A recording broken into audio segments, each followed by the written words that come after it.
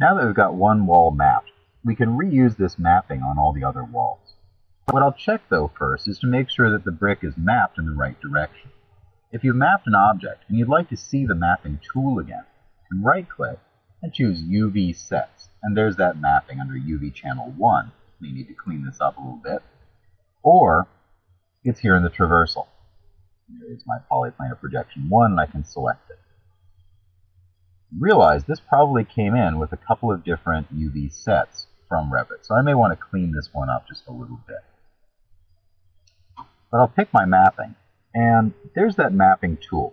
And what, what I look for in this, press 4 to switch to a wireframe, what I look for is that if I'm facing the polygons in the right direction, the T for transform is in the lower left corner of the mapping tool. That's how I know that the brick is facing me correctly and the bump will go in the right direction. The grout between the brick will recess slightly as opposed to popping out. What I can do then is choose presets and save polyplanar projection preset and name this. And I will call it brick and save it. And now when I need to map other brick, I can simply choose that preset and get this exact mapping and rotate it as I need, but I have the size already set. Now about those other UV sets. Multiple UV sets are handy, and what that lets us do if we need is bake out or uh, render to a texture space things like ambient occlusion or dirt or overlays or lighting. Um, what I'd like to do in this case is make sure that the brick is all in map 1. And so I'm going to clean this up a little bit. And it's okay, just fine to clean things up and then remap, and especially with that preset. I'll go in here under Edit UVs. Actually, sorry, I'll go under Create UVs in the Set Editor. And for now, I'm just going to delete UV Channel 1. So now I just have map 1, which is the default on this object. And now any mapping I apply will go into map 1. And it's kind of nice it actually turned it all white. There's no UVs in here. It has no idea how to put the texture on. So what I can do very quickly is zip through this, grab faces that all are in a like direction, and map them.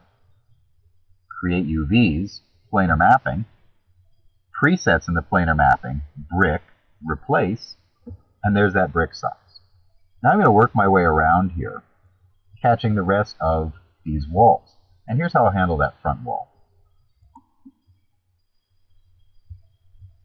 I'm going to use the same select and deselect trick, actually. I'm going to select all the faces in my top view and hold Control to deselect